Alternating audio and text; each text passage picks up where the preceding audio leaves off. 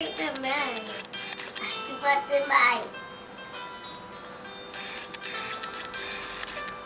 my grandpa. This is my grandma. This is my brother. This is my sister. This is my mom. This is my dad. This is my family.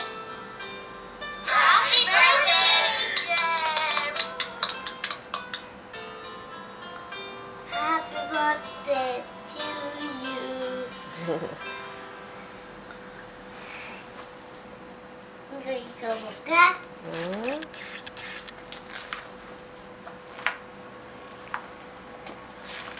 식사 후 오늘 세서 튀겼더니 냄새가 또 많이 나더라고요.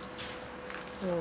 공기청정기 틀어서 지금 음식 냄새도 같이 청정을 할 수 있거든요.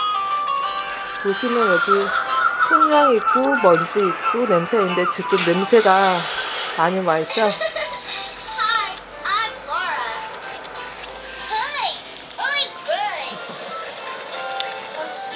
예전에는 이제 집안에 생선 튀면은 냄새가 너무 자욱해가지고 오늘 화천열도 쉽게 안 빠졌는데 LG 가습 공기청정기 사용하고 나서는